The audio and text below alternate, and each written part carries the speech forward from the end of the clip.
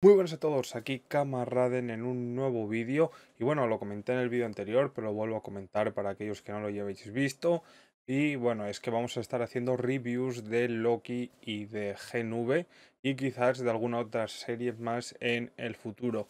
Obviamente el contenido principal y el canal va a seguir girando en torno a One Piece, pero sí que me gustaría pues incluir este tipo de contenido de manera ocasional. Empezamos con las reviews en el capítulo 4. La verdad que me hubiese gustado hacerlo en el anterior, pero es que cuando me vi la serie no era momento de hacer una, una review y la verdad que ahora tengo muchas ganas de, de hablar de, de, esta serie porque el universo de Boys es algo que me flipa y los tres primeros episodios de la serie me encantaron por todo lo que plantea, ¿no? Es una especie de mansión X, ¿no? De, del Instituto X del profesor Xavier, pero si los superhéroes fuesen realistas, no la versión idealizada. Y a mí es algo que me gusta un montón de, de este universo de, de The Voice, ¿no? Ver la, la corrupción, las, la, las formas de comportarse realmente que tiene la gente, no una versión idealizada.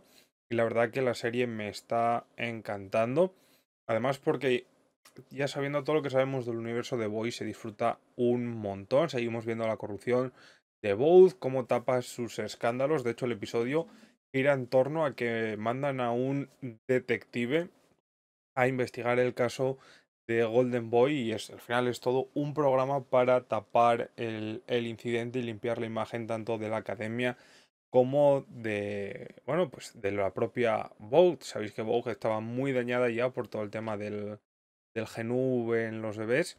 Y la verdad que, bueno, me parece muy interesante cómo se desarrolla y cómo vemos que todo el mundo tiene las espaldas cubiertas, porque al final la... No sé si es el director, no sé si el cargo que tiene es directora, porque sé que lo mencionan en la serie, pero me queda muy claro, ¿no? Y al final como la directora le da la vuelta y, al ver que alguien tiene que pagar con las culpas y no quieren eh, cargar la culpa con los alumnos, porque obviamente son un activo de Vogue, en el futuro les va a dar beneficio y se lo intentan cargar a la directora y como, bueno, pues la directora también tiene los trapos sucios. Al fin de cuentas, cuando te mueves en un entorno corrupto siempre tienes tus espaldas cubiertas. Me ha gustado un montón ver más a, a Sam. Asa y Yerman lo hace genial, pero sobre todo la relación de Sam y Emma me parece muy, muy especial, ¿no? Son dos personas que el mundo no acaba de, de comprender, son marginados, entre comillas, ¿no? Una es ridiculizada, Vimos en los anteriores episodios el bullying que sufría, como la persona que se acercaba a ella eran por sus poderes y topa con, con Sam, que es una persona que la aprecia de, de, verdad. Y lo mismo que pasa con, con Sam, ¿no? Acostumbrado a que lo maltraten, que lo tengan encerrado, que la gente se aleja de él por ser un psicópata. No, bueno, no sé si la palabra es psicópata, no, pero bueno, él mismo lo dice, que está tumbado. Ver esa relación me gusta un montón y cómo exploran pues eh, los problemas que tiene Emma de pues de autoestima, de, de sus poderes, está muy muy bien como lo aumentan y además hay una cosa que me parece súper curiosa de que no me lo esperaba y es que sabíamos que el poder de Emma era que vomita y mengua, pero si come crece para recuperar su tamaño. Lo que no sabíamos y se muestra al, al final del episodio es que si come mucho también se hace gigante, o sea, es un poder súper guay realmente, es como si fuese Ant-Man, pero pues con trastorno de, de, alimentación de por medio. Pero no sé, me gusta bastante sus poderes. Y creo que Emma eh, es la que se roba el show. Personalmente a mí es el personaje que, que más me interesa. Sé que la protagonista, entre comillas, es Maggie, pero, pero a mí no me acaba de, de convencer. Es verdad que, bueno, tiene una trama interesante, ¿no? De le querían cargar el muerto de Golden Boy y pasó de ser la, la que iba a ser expulsada a ser una de las heroínas principales de la academia, pero bueno, en este episodio al final eh, confesó que era, que era Jordan. Además, en este episodio, yo sé que The Voice se mueve en un ambiente muy turbio, pero lo de este episodio yo personalmente ya, ya se pasan a veces, se pasan. Eh, Marie quería contratar a un hipnotista, bueno, a un medium, para, para bueno, pues encontrar a, Emma y al final resulta que el medium Suelta como una especie de lluvia de hormonas que te, que te duerme y es como la droga de la violación. Y menos mal que Jordan eh, se enteró y llegó a tiempo para salvarla, a pesar de que eso, que María entró en pánico y controló la sangre de la erección del, tío para hacerle explotar el, el miembro, no sé.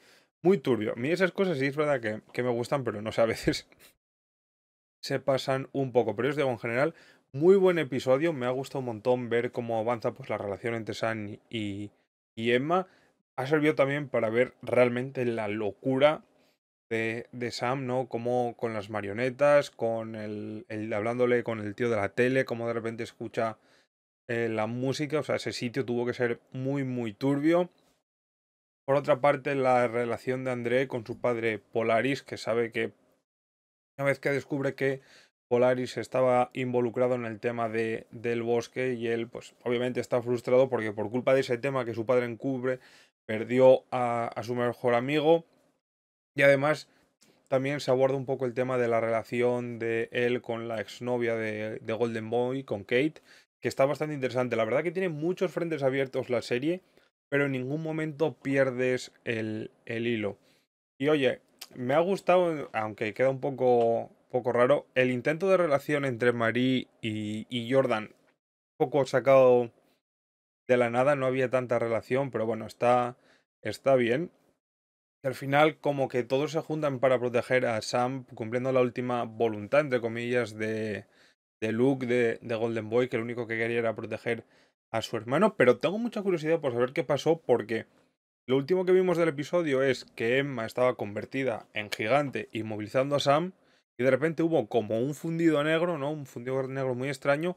Y la siguiente escena, escena era Marie con Jordan en la cama. Un poco extraño.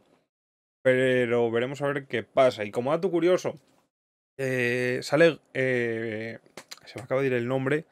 Sale Soldier Boy en este episodio, ya que en uno de los carteles del autocine podemos ver, eh, bueno, brevemente un cartel de una película de, de Soldier Boy. Como os digo, me está gustando un montón la serie, me gusta todo el universo y ver cómo adolescentes reales, entre comillas, tienen problemas de, super, de superhéroes reales y bueno, pues las interacciones entre ellos al fin y al cabo son adolescentes, saben que tienen que, que destacar, de hecho Jordan se ve que está muy obsesionada con el top porque, bueno, pues ella quiere ser una superheroína. No entiendo muy bien cómo funcionan los poderes de, de, Jordan. Sé que cambia de sexo, pero parece que en el momento en el que cambia, como que tiene una especie de, de inmunidad.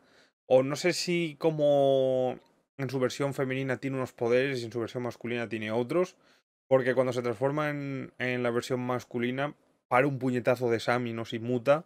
Pero cuando es su versión femenina, como que lanza una especie de onda que, que lo lanza.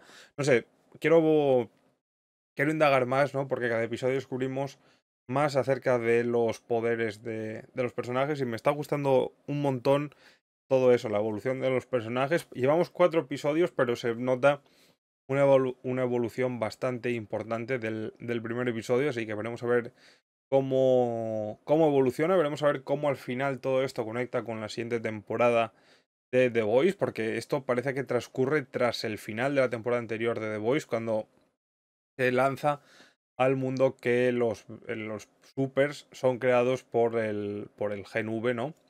Así que bueno, veremos a ver cómo avanza. De momento yo os digo, me está flipando la serie, espero que, que siga así. Y nada, toca esperar otra semanita para el siguiente episodio, pero pinta todo muy bien. Dejadme en comentarios qué os está pareciendo la serie. Si os ha gustado el vídeo, suscribiros, dejad un like y nos vemos en el próximo. Chao, chao.